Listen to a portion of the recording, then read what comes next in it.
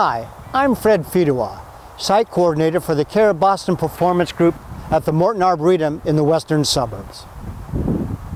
We know Boston Marathon has a lot of hills and running up hills is important, but just as important is to learn how to run downhills so you preserve your energy for the end of the race. Running downhill has two components. The first is form. So what is the proper form for running downhill? Too often we do this to stop ourselves, right? You've done this. You dig your toe in when you come down the ball of the foot and that slows you down. You don't want to do that for two reasons. One, when you do that, it stops your momentum, which you don't want to do when you're running. The second is that drives all those forces all the way up your leg and that is not good for your leg. What you want to do instead is you want your foot to act like the rocker on the bottom of a rocking chair. So when your foot hits, you want to hit midfoot and just roll forward.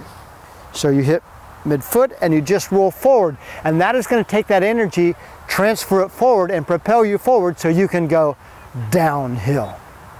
Now, what if we do if we're going too fast? We've been there before, right? We're going too fast. So what we do, our brake, is if we just move back and forth from our ankles. If we're going too fast, we slightly move back from our ankles. If we want to speed up, we lean, into, lean into our ankles. And again, we keep that form exactly from the heel all the way up through your shoulders. I said there were two components to running downhill. One is form, which we just talked about.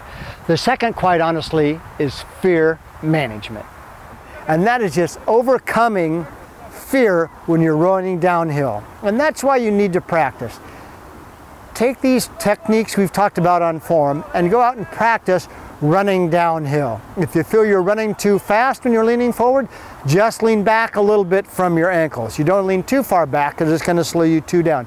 Play with that a little bit until you get confident. And you actually have to practice running downhill. So that's the two components of running downhill, form and fear management.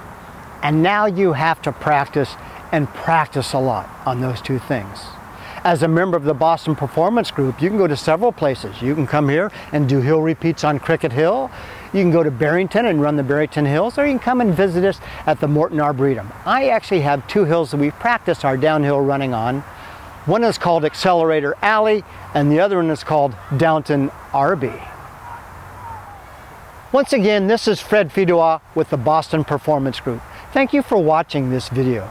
For more information, visit the Chicago Area Runners Association website, cararuns.org.